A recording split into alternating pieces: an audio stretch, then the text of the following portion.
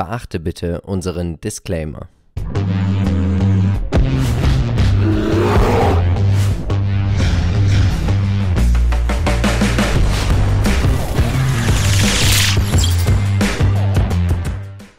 Hallo und herzlich willkommen zu einer neuen Folge des Aktienchecks. Wir sind Philipp und Marcel von Modern Value Investing. Und auch heute werden wir natürlich wie immer versuchen, dich mit aktiven Investmentideen dabei zu unterstützen, mehr Rendite zu erwirtschaften.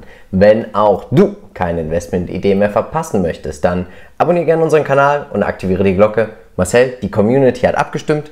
Ich habe auch persönlich selber Geld investiert. Über welche fünf Unternehmen werden wir heute sprechen? Genau, also es beginnt alles mit JDE Peets, mhm. dann geht es weiter mit der Trade Desk, Richtig. Nvidia, ja. Baosun und zum Schluss schauen wir noch mal, was Booking.com so macht oder Booking Holdings. Ja. In welche dieser Unternehmen bist du investiert? Ich bin dabei in The Trade Desk und in Nvidia. Ja. Und du bist bei Nvidia mit dabei und JDE Peets. Und wie das aussieht, das erfährst du jetzt, weil wir starten jetzt mm, mit Kaffee. Viel Spaß! Wer oder was ist JDE Peets und sie sind der größte reine Kaffee- und Teekonzern der Welt? Wusstest du, dass sie 2019 rund 130 Milliarden Tassen Kaffee und Tee in mehr als 100 Ländern auf dieser Welt verschenkt, also nicht verschenkt, ausgeschenkt haben? Ja, Wahnsinn eigentlich. Ne? Unglaublich. Ne? Faszinierende ne? Zahl. 130 Milliarden Tassen Kaffee. Unglaublich. Und davon habe ich die Hälfte getrunken. Ja, schauen wir uns die aktuellen News an. Die Aktie ging am 12.07. ex-Dividende und dann gab es auch schon Dividende und ich habe die Aktie vor der Dividendenzahlung gekauft, habe da aber gar nicht so drauf geachtet, aber es war nice to have, muss man tatsächlich sagen. Wir sehen eine große globale Verteilung in den Segmenten und man berichtet auch viel natürlich ja immer so in verschiedenen Sachen. Also out of home, das sind Sachen, die du dir dann mitnehmen kannst. Dann aber auch verschiedene Sachen für den Konsumenten, aber natürlich auch für zum Beispiel Cafés, Restaurants und Bars. Man ist richtig groß aufgestellt. In Europa erzielt man 52 Prozent der Umsätze. Dann sehen wir Lateinamerika ist auch noch mit dabei. Russland, Middle East und Afrika mit 14,8%. Prozent. Die ganze Kaffeekette Peets steht für 12,6 Prozent der Umsätze. Also eine globale, tolle Verteilung, oder? Ja, absolut, genau. Ne? Also auch in den jeweiligen ähm, ja, Ländern ja. sieht man das auch, so eine doch recht gute Verteilung dabei ist. Und ähm, ja, kann ich verstehen, dass es attraktiv ist. Auf jeden Fall. Wir sehen der Trader Fox Qualitätsscore 4 von 15 Punkten, aber Achtung, keine Angst. Wir haben hier einfach noch nicht genügend Daten, weil das Unternehmen ist noch nicht so lange an der Börse und hätte man letztes Jahr 2020 1000 Euro investiert, wären daraus auch nur 781 Euro geworden. Also Durchschnittsperformance minus 20 Prozent. Ich bin gespannt, was sagst du uns denn heute eigentlich zum Chart? Ja, äh, schwierig, denn wie du schon sagtest, nach dem IPO ging es hier stark nach unten, zumindest über ja. die Zeit hinweg. Immer mal wieder keimte etwas Hoffnung auf, weil der Kurs sich stabilisierte, aber am Ende war das auch immer eine Finte. Nun ähm, wurden auch die Widerstände, äh, die Unterstützungen durchbrochen und das heißt natürlich weitere Abverkäufe und ähm, ich glaube, die hast du dann auch relativ schnell mitnehmen müssen. Ja. Aber jetzt eben ein neues Alternativ und äh, es scheint erstmal zu stabilisieren. Die Frage ist natürlich jetzt, wie sich der Kurs weiter verhält, ob man auf diesem Niveau erstmal weiter einen Boden ausbilden kann oder ob man vielleicht gleich zurückläuft in Richtung 30. 30 Euro sind dann aber auch die jeweiligen Widerstände. Da mhm. muss man dann aufpassen, dass man dann nicht gleich wieder abprallt. Das heißt, wenn dann auf die Bodenbildung warten. Schauen wir uns die Peer Group an. Wen hast du uns mitgebracht? Ja, also einmal natürlich Nestlé, die ja auch im großen ja. Kaffeebereich mit sich tragen, mit 48,1% durchaus erfolgreicher gewesen in den letzten fünf Jahren als JDE Peets seit dem IPO. Mondelez ist mit dabei, aber sie sind ja auch investiert in JDE Peets. Halten knapp 25% aller Aktien. Genau, haben auch 36,6% gemacht. Da hätte man natürlich auch noch ein bisschen Schokolade mit dabei. Hm. Dann hat man die Kraft Heinz Company, auch sie vertreiben Kaffee war natürlich jetzt auch nicht schwierig die, die letzten Jahre. Ne? Also minus 57,5 Prozent tut da natürlich ein bisschen mehr weh als die 24 von JD Peets. Ja, dann äh, der ETF wäre natürlich hier in dem Falle der, die beste Wahl für alles gewesen. Kaffee ja. scheint also hier nicht ganz so die äh, reine Performance oder Nahrungsmittel allgemein. Ich würde jetzt ja, nicht sagen stimmt, reiner, genau, ja. reiner Play. Schauen wir uns den Lebenszyklus an. Also wir haben, machen wir uns nichts vor, wir haben hier ein reifes Unternehmen tatsächlich, man sollte hier das KGV betrachten, das Gewinnwachstum, die Skaleneffekte, den Burggraben. Man hat nach Peter Lynch hier einen Average Grower. Und ich muss tatsächlich sagen, ich finde die Bewertung für 2023 an der Börse wird die Zukunft gehandelt und das ist auch mein Investmentszenario dahinter mit 17,2 nicht viel. die Dividendenrendite schon bei fast 3%, KUV 1,91 und das KBV 1,23. Also man hatte die Chance, zum Buchwert reinzukommen. Und deswegen ist es für mich ein Buy and Hold. Ich denke, es ist auch für Buy and Hold Anleger geeignet mit langem Atem. Also man spielt hier wahrscheinlich die Dividende und das Dividendenwachstum. Man hat hier schöne, starke Free Cash Flows und als Value Investor ist man hier fast beim Buchwert auch mit investiert. Also man sollte hier nicht erwarten, dass man hier 30, 40 Prozent in einem Jahr macht, obwohl man sagen muss, das höchste Kursziel eines Analysten ist über 60% entfernt und ich drücke ihm die Daumen natürlich, dass er recht hat. Du drückst dir selbst die Daumen, ja? Ja. Ich sehe es ein bisschen anders. Also nein, also grundsätzlich bin ich bei dir. Buy and Hold Investoren kommen auf ihre Kosten, Dividendeninvestoren, Dividendenwachstum und für Value Investoren super geeignet. Was mir nicht gefällt, warum ich hier auch keinen Kauf äh, mhm. sehe, ist einfach, weil mir der Kurs oder der Chart einfach aktuell noch einen negativen ja. Trend darbietet. Ich möchte nicht in äh, negative Trends investieren. Das, das, das, ist für mich oder das widerstrebt ja. mir, weil auch da nicht absehbar ist, wie weit es noch runtergeht und vielleicht wird auch ein KGV von 15 oder 14 irgendwann akzeptiert sein. Das ist halt die Frage, müssen wir sehen. Kann aber jeden verstehen, der eben je nach Investor-Typ da ja. ähm, sagt, wie du es zum Beispiel als Value-Investor auch durchaus ähm, die Chance nutzt und das ins Depot legst, dann kann ich das natürlich absolut nachvollziehen und auch nur unterstützen. Ich habe es schon gesagt, ich habe es gekauft bei unserem Werbepartner Just Trade. Und wir sehen hier, ich habe dieses Mal über Web gekauft, also einfach eingeloggt. Und das gefällt uns beiden ja sehr gut. Ne? Ja. Es gibt das als App und Web-Applikation. Das ist natürlich ganz wichtig. Die Anmeldung hat super schnell geklappt. Die Einzahlung klappt auch innerhalb, innerhalb eines Tages von meinem Konto. Und wir sehen es, ich habe hier auf der Watchlist JDE Peats, aber du kannst natürlich dir auch Kryptowährungen kaufen. Ab 50 Euro geht's los. Das ist eigentlich auch eine schöne Sache, wenn man sagt, ich möchte mein Geld vielleicht mal ein bisschen in Krypto parken. Also du kannst auch Bruchstücke kaufen. Wie gesagt, Watchlist geöffnet, JDE Peats, dann direkt aufgemacht, angeschaut, Mensch, wie sieht es denn eigentlich aus beim Kurs? Order aufgeben und dann ist das Schöne, du hast hier die Auswahl zwischen Lang und Schwarz, Quotrix und The Trade Gate. Und du siehst ja auch direkt, und das gefällt mir richtig gut, immer den Spread, ne? Genau, richtig, ja. Und Vorteil. ich habe gekauft bei Lang und Schwarz Spread 0,06% und ab 500 Euro ist das Ganze ja kostenfrei auch bei Just Trade. Somit direkt ausgeführt, zack, gekauft und dann war es auch hier schon mit GFL Environment. Also man sieht es dann auch direkt in der Depotübersicht. Wie gesagt, ich werde hier langfristig halten, Buy and Hold. Ich habe keine Ambition zu verkaufen und wenn du dich für Just Trade interessierst, schau dir mal den Link in den Show Notes an. Da würden wir uns natürlich freuen, wenn du eine Anmeldung über diesen Link machen würdest. Jetzt, Aktienpodcast. Es gab einiges bei uns im Depot. Ja, richtig. Ne? Der Rückblick, den haben wir uns einfach nochmal ja. gegönnt. Wie war denn so der Juli? Und da könnt ihr gerne mal reinhören und, oder reinschauen. Es war natürlich äh, sehr, sehr spannend. Wir hatten doch unterschiedliche Entwicklungen teilweise, ja. hatten viele Dividenden und so weiter. Also doch ein spannender Monat. Und wichtig, nächste Woche bist du im Urlaub. Es gibt eine ganz andere Aktien-Podcast-Woche nächste Woche. Was bedeutet das? Wir nehmen ja unser Geld von Modern Value Investing und investieren das. Also du siehst es ja auch in unseren Videos, wo wir auch wirklich transparent investieren und wir werden das noch transparenter machen, weil unsere Modern Value Investing Holding, sie wächst einfach. Wir haben einen richtig tollen neuen Werbepartner, auch mit Companisto, haben jetzt auch das erste Mal in ein Startup investiert als Angel-Investoren und über dieses ganze Konstrukt, unsere Holding, was wir vorhaben, wo wir hingehen und wie gesagt, völlig transparent. Du wirst erfahren, wie viel wir investiert haben, wie viel in der Holding ist, wie auch die Rendite ist. Das erfährst du alles nächste Woche in unserem Sonderpodcast. Und jetzt würde ich sagen, kommen wir zu The Trade Desk. Du bist investiert, was machen sie? Ja, The Trade Desk ist Spezialist, um Werbung perfekt in die verschiedenen Kanäle zu äh, streuen und da auch den Endkunden gezielt, auch ja. datengetrieben auch zu erreichen. Und das ist natürlich ein Mehrwert, den viele Kunden von The Trade Desk auch wirklich nutzen und schätzen, weshalb ja. natürlich hier auch eine gewisse, ja, ein gewisser Burggraben mittlerweile da ist und auch eine gewisse Größe erreicht ist, um weiterhin stark zu wachsen. Und das zeigen ja auch die Zahlen. Also ich finde das ein sehr, sehr spannendes Geschäftsmodell, vor allem weil wir jetzt in den Quartalszahlen gesehen haben, dass die Werbeerlöse immer weiter steigen, sogar enorm outperformen. Das haben wir ja. bei äh, Twitter gesehen, bei Snap, natürlich auch bei Facebook, Pinterest. bei Pinterest an sich natürlich, wie sie die Zahlen äh, umgesetzt haben. Und äh, Alphabet hat man es ebenfalls gesehen. Also ja. hier wird man wahrscheinlich auch jetzt dann äh, nächste Woche mit den Quartalszahlen durchaus Freude haben können. Was sind die aktuellen News? Conviva arbeitet jetzt mit der Trade Desk zusammen und sie werden anfangen im Streaming-Bereich, also dass du vielleicht gar nicht mehr für was für Streaming bezahlen musst, sondern du kriegst personalisierte Werbung auf den Kontext bezogen. Also das heißt, du guckst dir eine Serie an, die dich interessiert und dann kriegst du dank der Trade Desk auch noch personalisierte Werbung Ich frage mich, wie das beim Haus des Geldes zum Beispiel aussehen würde bei Netflix, was du dann da für Werbung kriegst. Welche Bank darf ich überfahren? Ja, also coole Sache. ja. Macht das Ganze natürlich auch total effizient, muss man tatsächlich sagen. Wenn du auf einmal die Möglichkeit hast, dann vielleicht nur drei oder vier Werbespots zu sehen, die dich auch interessieren, ja. anstatt irgendwelche Shampoo-Werbung gegen Haarausfall, was wir gar nicht als Problem obwohl, haben. Obwohl du das ist, eh Klatze hast, die ja, du schon immer wolltest. Genau, ja. also das ist, muss man tatsächlich sagen, macht auf jeden Fall Sinn. Ja. Und der Trade Test ist hier einfach hervorragend positioniert. Das wurde auch in diesem Artikel beschrieben. Wir sehen, es gibt nur ein Segment.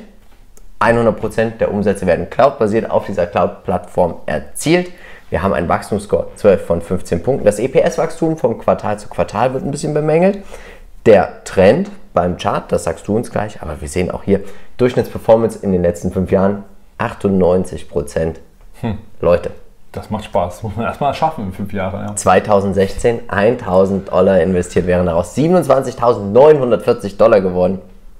Mehr möchte ich dazu eigentlich nicht sagen. Ja. Und deswegen kommen wir jetzt auch direkt zum Chart. Was sagst du uns denn hier? Genau, also wir hatten natürlich hier eine große Übertreibung. Das Allzeithoch, was wir hier Mitte im Bild sehen, das war äh, schon, ich sag mal, auch fundamental nicht mehr tragbar, weshalb natürlich auch die Aktie ähm, ja in Stocken geriet, mhm. also ist der Aufwärtstrend. Und dann gab es erstmal stärkere Abverkäufe und natürlich auch die Nachricht, dass man naja, die Cookies so an sich abschaffen möchte. Aber da hat man nicht ganz mit, äh, die Rechnung mit äh, Traders gemacht. Die haben ja eine Alternative zu den Cookies. Ja. Und ähm, deswegen ist das Datentracking jetzt, was Alphabet so ein bisschen abschaffen möchte, auch gar kein Problem für die Trade Desk. Sie haben andere Lösungen mhm. und können da, ich sag mal, vielleicht so die Nische nutzen, um dann noch besser und noch effektiver zu arbeiten. Dann gab es diesen Aktiensplit. Endlich ja. ist die Aktie einzeln nicht mehr so teuer. Auch das gibt natürlich Auftrieb. Und dann gab es eben den Ausbruch. Ja? Also wir haben hier die, die, ähm, die, grüne Fläche. Das war so das Zwischentief. Ab da ging es dann wieder nach oben. Es war dann auch zu sehen, dass das die Hochs von den vorangegangenen ja. Aufwärtstrend war. Und ähm, ab da konnte man schön einsteigen, beziehungsweise dann auch bei dem Ein äh, Ausbruch dort einfach dann die Position aufbauen. Und jetzt aufgrund dieser Zahlen von Twitter und Snap ging es dann eben hier auch nochmal einfach richtig stark nach oben. Man hat gesehen, der Markt nimmt vorweg, dass der Traders ebenfalls erfolgreich sein wird auf diesem Markt und ähm, wird tolle Quartalszahlen wahrscheinlich prä äh, präsentieren können. Und die letzten Tage waren mit relativer Stärke doch sehr auffällig, wo der Gesamtmarkt doch manchmal ein bisschen hin und her lief, ist der Trade Desk prinzipiell nur gestiegen. Das ist eine relative Stärke, die auch für die nächsten Wochen sprechen könnte. Dann drücken wir natürlich dir und allen Investierten die Daumen, dass das so kommt. Wen hast du uns als Peer Group mitgebracht? Ja, also der Trade Desk mit 2614 Prozent natürlich in den letzten fünf Jahren wirklich unfassbar stark. Aber, aber, ziemlich schwach im Vergleich. Ne? Ja, aber richtig schlecht im Vergleich zur Digital oder Digital Turbine, die halt wirklich richtig Gas gegeben haben. 5460 Prozent unfassbare Performance, Wahnsinn. muss man aber auch ein bisschen aufpassen. Auch die können natürlich hier und da immer mal ein bisschen volatiler sein, sind auch nicht ganz so groß. Ne? Da muss man auch immer ein bisschen schauen wo da hier der Platzhirsch ist. McKnight auch trotzdem eine sehr gute Performance von 412 Prozent, auch noch nicht ganz so lange an der Börse. Deswegen hier auch äh, ja, etwas abschlagen. Insgesamt kann man aber der Trade Desk auch in einem ETF finden, in dem iShares Edge MSCI USA Size Faktor mit 0,5% fast, nicht ganz so riesig gewichtet, aber hat auch immerhin in drei Jahren 50,5% gemacht. Also all das hätte natürlich den MSCI World aufgrund natürlich des riesen Wachstumsmarktes mhm. äh, Apps Wahnsinn. Also deutlich überperformt. Wahnsinn. Was möchte man eigentlich mehr? Und wir haben hier ein Wachstumsunternehmen. KUV-Bewertung, Umsatzentwicklung, Rule of 40 beachten, die Margenentwicklung, das ist alles wichtig. Das muss in die richtige Richtung gehen und das tut es auch. Wir haben hier einen Fast Grower nach Peter Lynch, bedeutet das einfach Buy and Hold. Vielleicht nicht eine zu große Depotposition, wenn man mit Wachstumswerten nicht so klarkommt. Wir sehen die Bewertung für 2023 KGV 155 obsolet, KUV 22, puh, auch ziemlich teuer. Also hier muss man wirklich von Skaleneffekten ausgehen. Man muss an sie glauben und dann könnte die Bewertung in Ordnung sein, weil man sagt ja einfach buy and hold und das ist auch unsere Meinung, oder? Ja, genau. Also klar, das KGV ist hoch, aber es ist nicht die richtige Kennzahl, um solche ja. Wachstumswerte zu ähm, ja, einzuarbeiten. Dann eher KUV ist natürlich mit 22 wirklich sehr hoch. Ja. Hier muss man aber wirklich berücksichtigen, dass dieser Markt insgesamt extrem wächst und sich immer weiter kanalisiert auf diese Online-Stränge. Ja. Da wird natürlich äh, Joe Traders sehr wahrscheinlich davon profitieren. Davon geht der Markt schon aus. Es ist also schon viel mit eingepreist. Äh, ja, Buy and Hold Trading hat man gesehen, es lohnt sich auch, High Growth sowieso. Und äh, wir sind beide überzeugt, Buy and Hold lohnt sich. Schauen wir uns als nächstes Nvidia an und sie sind weltweit führend im Design, in der Entwicklung und im Marketing von programmierbaren Grafikprozessoren. Sie wollen ja auch noch ARM mit übernehmen, auch ein Riesending. Wir haben uns das mal ein bisschen genauer angeschaut. Softbank gehört ja ARM und wenn jetzt Nvidia Softbank, äh, ARM übernimmt von Softbank, würde Softbank der größte Anteilseigner mit über 10% von Nvidia werden. Und das wäre natürlich eine Win-Win-Situation. Tolle Sache, gefällt mir richtig gut. Und auch Godmode Trader hat geschrieben, Rekordhoch, langfristige Ziele sind in Reichweite. Nvidia schafft es zu liefern. Charttechnisch soll es hier kein Halten geben, aber wir wollen dir ja nicht vorweggreifen. Richtig, genau. Aber noch eine noch andere News, die es noch mit ja. reinkam, dass äh, vor allem die chinesische Regierung hier die, die, Übernahme von ARM etwas erschweren wird. Also sie haben schon die ersten Vetos reingelegt, weshalb hm. hier also sich noch ein bisschen ziehen wird. Das ist eine nicht so gute Nachricht insofern.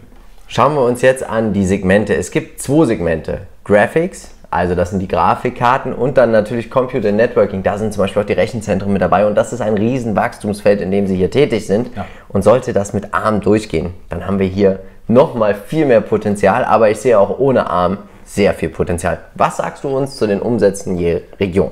Ja, also hier sind wir natürlich äh, Asienlastig mit Taiwan und äh, China. Also das sind nun mal ja. die äh, Chips, die dorthin äh, kommen.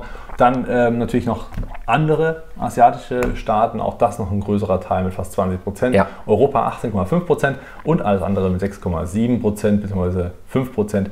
Dann ähm, ja, eher vernachlässigbar. Also von der Größe und relativ. Wir haben Wachstum in allen Regionen. Genau, das ist auch ein guter Punkt. Hier wird dann auch noch äh, Computerchips, also CPUs werden ja noch mit ja. hergestellt. Und äh, ich sag mal, insgesamt hat Nvidia so viele Bereiche, wo sie ähm, Fuß fassen. Und wenn man überlegt, dass alleine die, nicht nur die Cloud wächst ja, sondern auch jemand, der, der Allgemeinverbraucher bis hin zu den Unternehmen, die so viel mehr Daten, das wirklich exponentiell ansteigende Anzahl an Daten, natürlich auch dementsprechend Speicherplatz ja. benötigen und diese irgendwo speichern müssen, dann ist das ein Markt, der sich noch weiter vervielfachen wird und Nvidia ist da super positioniert. Die Rechenzentren werden Gas geben, die äh, ganzen Mobile, die man braucht, die ganzen Gerätschaften. Ja. Also all das wird hier, und wenn das autonome Fahren noch kommt und Nvidia damit groß drin ist, wird das sicherlich auch nochmal ein Push sein. Also ich bin schon ja. sehr überzeugt davon, dass äh, Nvidia langfristig Gas geben wird. Wachstumscheck 14 von 15 Punkten spricht für sich. 49 Prozent auf dem Niveau jedes Jahr. Ja. Und das ist wirklich Wahnsinn. Es ist wirklich Wahnsinn. 1999, 1000 Dollar investiert, wäre man jetzt schon halber Millionär. Ja, und das kann man selten sagen, weil 1999, dann haben wir 2000 die Dotcom-Blase ja. und die meisten, die, die in diesem Ranking Wahnsinn. sind, ab vor der Dotcom-Blase, haben meistens sogar, naja, eher nicht so viel Performance ja. erzielt, weil dazwischendurch halt eine riesen äh, Gap war. Aber hier sagt das eigentlich alles aus. Was sagst du uns heute zum Chart? Ja, nach einer langen Seitwärtsphase, die wir auch lange auch beobachtet und äh, ich sag mal auch davon berichtet haben, auch im Chartcheck, gab es mhm. dann endlich den Ausbruch. Endlich gab es den Ausbruch und dann natürlich so eine Art Neubewertung, also ging es dann halt ordentlich nach oben. Neues Allzeithoch wurde gebildet, davon jetzt ein Rücksetzer, ganz normal nach einem starken Anstieg. Dann hat es hier gehalten. Ich könnte mir vorstellen, dass diese, auf diesem Niveau jetzt die Aktie noch ein bisschen seitwärts läuft, vielleicht auch bis die Armübernahme ja. wirklich entschieden ist, bis es endlich durch ist, kann das jetzt ein paar Wochen dauern. Ähm, andererseits kann natürlich auch sein, dass es bloß eine kurze Phase ist, dass es trotzdem noch weitergeht in dieser Neubewertung. Nach dem Aktiensplit ist die Aktie ja optisch nicht mehr teuer. Ähm, gut, insgesamt natürlich die Bewertung trotzdem hoch, werden wir gleich ja. mal schauen. Aber wir werden es jetzt beobachten, ob dieser Widerstand beim Allzeithoch hält und dann eine Seitwärtsphase äh, sich dann darauf folgen wird oder ob es neue Allzeithochs geben wird. Das werden wir erst in den nächsten Wochen erfahren. Wir haben als Peer Group ja, AMD ganz klassisch halt mit auch 1345 Prozent jetzt nicht weniger äh, zu bieten, muss man sagen, sondern sogar mehr. Intel mit 45,2 Prozent, naja, mit den bekannten Schwächen, die Intel eben jetzt aktuell offenbart. Qualcomm mit 124,3 Prozent, auch natürlich ein Platzhirsch, die auch sehr stark von dem 5G-Trend ja. profitieren. Das haben sie auch in den letzten Quartalszahlen einmal mitgeteilt. Im Van Eck Vectors Semiconductor mit 10,71% ist Nvidia natürlich schon ein Big Player da drin. Ja. 20,9% in sechs Monaten. Seitdem gibt es eben diesen äh, ETF. Kann man also auch machen mit sechs Monaten 20%. Gibt es Schlimmeres. Ich finde auch den ETF super geeignet für jeden, der sagt, ich möchte mich da gar nicht festlegen in dem Bereich. Toll. Wir haben hier ein Wachstumsunternehmen und wir sehen auch es gibt hier eigentlich nur, wir sind investiert. Also deswegen ist unsere Meinung buy and hold. Ich glaube, wir denken beide nicht ans Verkaufen, oder? Nein, genau. Also die Rallye war schon gut und die wird auch weiterhin interessant bleiben. Klar ist die Marktbewertung an sich nicht tief. Ja, das KGV äh, 45,2, mhm. aber man muss halt das Wachstum berücksichtigen, die ganzen. Und hier spielt wirklich die viele Fantasie. Fantasie. Und es ist ja. nicht nur eine Fantasie, die einen Weg findet, ja. sondern wirklich viele Wege in vielen verschiedenen Bereichen, weshalb ich hier wirklich äh, von einem sehr, sehr starken, auch langfristig starken Performance ausgehe. Buy- and Hold-Anleger kommen hier auf ihre Kosten. Trader und auch High-Growth-Investoren werden hier bedient. Jetzt gehen wir nach China. Die wollen das ja ganz blockieren. Marcel, Stifte hat ja jeder und kennst du das, wenn du einen Stift hast, der nicht gut aussieht, nicht gut in der Hand liegt und im schlimmsten Fall nicht gut schreibt? Ja, das kenne ich absolut. Dann hat die Firma Hörner aus Dresden für dich heute eine Lösung. Zum Beispiel mit hochwertigen Schreibgeräten, Designkugelschreibern und Tintenrollern und edlen Füllern. Hörner bietet dir beste Qualität und ein Statussymbol zum erschwinglichen Preis. Was ist ihnen wichtig? Kundenzufriedenheit steht an oberster Stelle. Qualität. Ihnen ist dein Wohlbefinden wichtig. Die richtige Mine macht's. Die Hörnerminen überzeugen mit ihrer Langlebigkeit. Dazu gibt es ein edles, dezentes und doch aussagekräftiges Design. Das klingt interessant. Wo finde ich diesen? Ganz einfach. Du findest diesen auf www.hörner mit oe-group.de und natürlich gibt es den Link wie immer in den Show Notes. Und deswegen schauen wir uns mal Bausun an. Bausun ist eine Holdinggesellschaft, die hauptsächlich E-Commerce-Dienstleistungen anbietet, zu vergleichen mit Shopify. Wir sehen aktuell 17% ging es nach unten. Es gab einen ordentlichen Downgrade auch von der Credit Suisse. Und ja, was soll man dazu sagen? Chinesische Aktien sind einfach eher volatil. Man hat aber den Vorteil, man zahlt nicht so viel. Also vom Preislichen her, wenn man Shopify mit Bausum vergleicht, das schauen wir uns gleich nochmal an, aber die Bewertung ist eine ganz andere. Wir sehen auch hier, dieses ganze Thema der Online-Shops steht für 55% der Umsätze. Dann haben wir den ganzen Service dazu mit den Produkten. Diese stehen, die, also die Produkte für 44%. 100% der Umsätze werden in China erzielt. Und es gibt aufgrund dieses Rücksetzers aktuell kein TraderFox Ranking. Aber das Wachstum ist eigentlich wirklich gut. Aber dann schaue ich mir diese Durchschnittsperformance an. 8%, das ist ja nichts. Ja, ja, das stimmt. Also hat den Markt gerade so mitgenommen, ja. wenn man so möchte, aber auch nur, wenn man die fünf Jahre dabei war. Denn in den letzten drei Jahren ging es halt eigentlich nur abwärts. Das liegt daran, dass man einen wirklich recht stabilen Abwärtstrend sehen. Der ist zwar nicht wahnsinnig dynamisch, aber er zieht sich halt so dahin. Wahnsinn. Und äh, deswegen ist die Bewertung ja auch wirklich spottbillig. Müssen wir nicht drüber reden. Also ja. werden wir auch gleich nochmal sehen.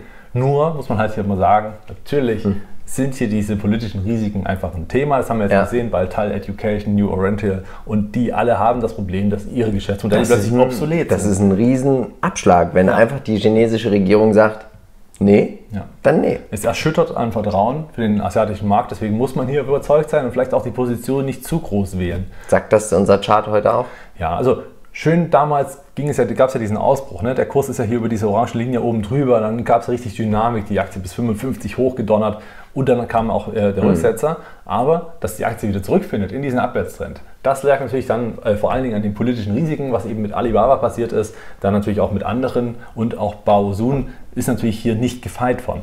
Deswegen gab es diesen Abverkauf und jetzt dann eben nochmal stärker bei 30. Die Unterstützung hat nicht gehalten aufgrund des, also A, natürlich Kursziel wurde einmal äh, ja, gekappt. Dann natürlich diese wirklich katastrophalen Ereignisse mit Metall Education und ähm, New Oriental. Auch da starke Abverkäufe, hat natürlich auf Baosun mit umgeschlagen, vor allem weil sie auch mehr kooperieren jetzt mit Alibaba, was ja. natürlich auch wieder so ein bisschen aussieht wie, hä, Moment, hier ist ein bisschen Monopol. Trotzdem muss man eins sagen, Bewertung super, charttechnische Unterstützung hat gehalten, ihr seht es hier in dem grünen Bereich, ähm, dort kamen die Käufer wieder hinein, haben den Kurs gestützt. Es ist sehr wahrscheinlich, dass hier erstmal eine Gegenbewegung kommt. Trotzdem gehe ich davon aus, dass es dieses Tief nochmal gesehen wird. Das heißt, wer jetzt sagt, okay, ich warte lieber, bis der Kurs auspendelt nach so einem starken Abverkauf, kann ich auch verstehen. Für Trader insofern natürlich geeignet, um hier mal kurzfristig 4% mitzunehmen, denn vom, von der Basis bis hoch zur orangen Linie sind hier doch einige Prozent, mhm. also um die 40, ja, fast 40 Prozent äh, drin. Kann man durchaus mal überlegen.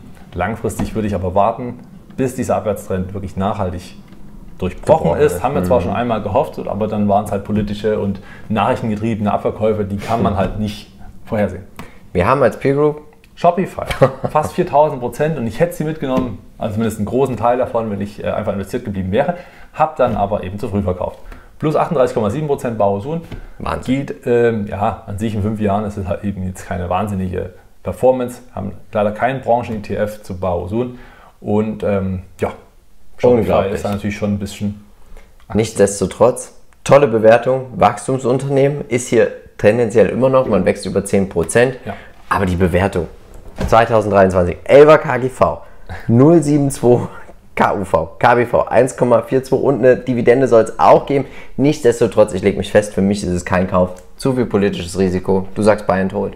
Ja, genau, also wer überzeugt ist und äh, da rein möchte, Bewertung und äh, gerade bei der Bewertung, wenn das zusammenkommt, so eine Bewertung mit der Überzeugung, dass Baosun langfristig trotzdem auf dem chinesischen Markt nicht der Regulatorik unterliegt und erfolgreich sein wird, dann ist das eine Aktie zum Kaufen und liegen lassen. Eine Buy and Hold haben wir hier das Kreuz jetzt äh, nicht mit dabei bei Buy and Hold. Natürlich muss man die Risiken auch immer wieder mal mhm. reflektieren. Was waren die letzten Aktionen der, der Regierung? Gehört halt einfach. Ich glaube, man kann hier einen sehr, sehr langen Atem gebrauchen. Man braucht definitiv einen langen. Ja. Hat man ja schon. Seit 2018 ist dieser Abwärtstrend. Also, also ja, man braucht definitiv oder kann definitiv einen langen Atem brauchen und vielleicht kann man auch immer mal drüber nachdenken, früh mal Gewinne mitzunehmen. Schauen wir uns als allerletztes Booking.com an. Die Booking Holding, ehemals Priceline Group, ist ein Anbieter von Online-Reservierungen für Reisen und Restaurants und den damit verbundenen Dienstleistungen. OpenTable gehört ihnen auch. Ja. Wahnsinn. Also ein Riesenunternehmen. Was sind die aktuellen News? Sie wollen jetzt eine eigene Zahlungsabwicklung starten, weil das ist natürlich eine Marge, die muss man nicht teilen und möchte man natürlich auch nicht teilen. Genau. Und dann kann man natürlich auch dadurch auch schöne Dienstleistungen anbieten, wie zum Beispiel Versicherungen etc. bei PC, PP. Also Upselling ist hier auf jeden Fall mit dabei. Wir haben hier einen Großteil der Umsätze machen tatsächlich auch noch die Reisebüros, die zum Beispiel Booking.com auch nutzen. Und das da war ich doch ein bisschen überrascht, oder? Ja, absolut, klar. Ne? Also das äh, ist ja doch viel Online-Geschäft gewesen, ja. aber auch hier muss man sagen, äh, nimmt natürlich dann die Agency die Plattform natürlich. in Anspruch. Dann haben wir natürlich ja. die Merchants, also auch noch die Zwischenhändler mit dabei. Und wir sehen, es ist eine Holding, die ist in den Niederlanden auch wahrscheinlich ziemlich groß vertreten mit 77,5 Prozent aller Umsätze werden nämlich aus steuerlichen Gründen in den Niederlanden erzielt, muss man einfach tatsächlich mal so sagen. Wir sehen den Qualitätsscore 10 von 15 Punkten, 15 Prozent im Schnitt in den letzten 10 Jahren ging es nach oben, das gefällt mir auch sehr, sehr gut. Umsatzwachstum natürlich pandemiebedingt komplett eingebrochen. Ja, genau. Das ist natürlich ein Einmaleffekt, der ist äh, Tut weh, keine ja. Frage, aber man muss ja auch sagen, die Aktie ist ja wohl erholt aus diesem Tief schon rausgekommen, nimmt vorweg, dass Booking wahrscheinlich zu den Gewinnern gehören wird, weil natürlich auch viele Reisebüros dicht gemacht haben. Ja. Konkurrenten, TUI kämpft ja über, äh, eigentlich schon mehr um so Überleben, Über, hier, überleben ja. tatsächlich am finanziellen äh, Ressourcen sichern. Also insofern wird der Markt eigentlich nur zugunsten von Booking Holdings sich entwickeln. Ja. Und deswegen äh, muss man sagen, ist das trotzdem eine sehr gute Performance und hier ist wahrscheinlich auch noch einiges drin. Auf jeden Fall.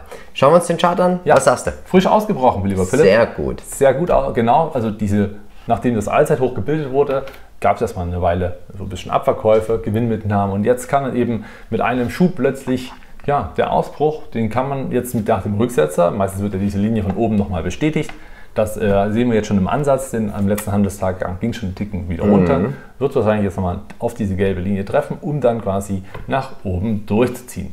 Finde ich gut, schöner Punkt zum Einsteigen. Zumindest jetzt noch ein paar Tage warten und dann hat man ein ganz gutes Timing erwischt wahrscheinlich. Schauen wir uns die Peer Group an.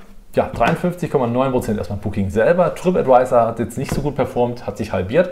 Expedia mit plus 30% jetzt sicherlich auch nicht der Verlierer. TUI fast auch halbiert, ist jetzt auch nicht gerade das, was man unbedingt haben muss.